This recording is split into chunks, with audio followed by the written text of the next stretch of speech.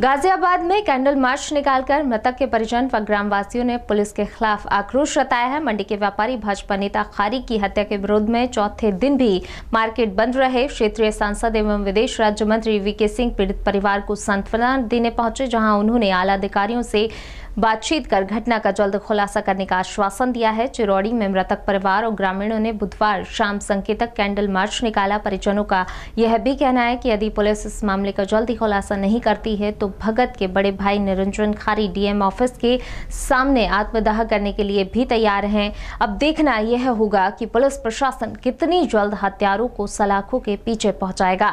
यह तो आने वाला ही वक्त बताएगा, जबकि पुलिस सुराग तक नहीं लगा पाई है। क्षेत्र अधिकारी दुर्गे मुकेश कुमार सिंह का कहना है कि हत्यारों की तलाश जारी है।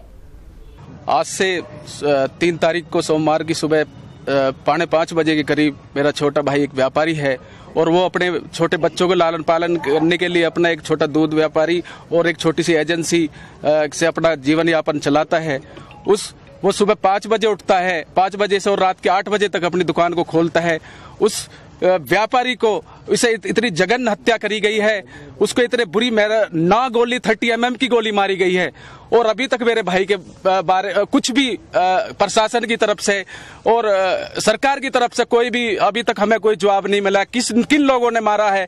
किन आ, आ, उसकी जो जघन्य हत्या की गई है वो आप लोगों को भी पता है कितनी नर्मम हत्या की गई है। कि शब्दों की व्याख्यान भी नहीं कर सकते हम। उसको इतनी जघन्य हत्या करी गई है। बड़ा दुर्भाग्य का विषय है कि उत्तर प्रदेश में वर्तमान सरकार जो है, उसके राज में जो बदमाश है, वो बेखौफ घूम रहे हैं। एक आम आदमी, एक सैतीस साल का युवा, अपना परिवार चलाने वाला युवा, जिसको आज तक एक सौ इक्यावन का केस दर्ज नहीं हुआ, उसकी नौ गोली मारकर निर्मम हत्या कर दी गई और तीन दिन बाद पुलिस प्रशासन के हाथ खाली है तो हम इस पुलिस से क्या उम्मीद करें? आज ये है कल को इनके भाई भी हो सकते हैं बच्चे भी हो सकते हैं हम साथी भी हो सकते हैं। हमें कहीं से कहीं तक भी कोई विश्वास नहीं है कि पुलिस हमारे साथ है या पुलिस हमारे कोई कार्रवाई कर रही है। तीन दिन में इन लोगों ने एक किलो भी हासिल नहीं किया है।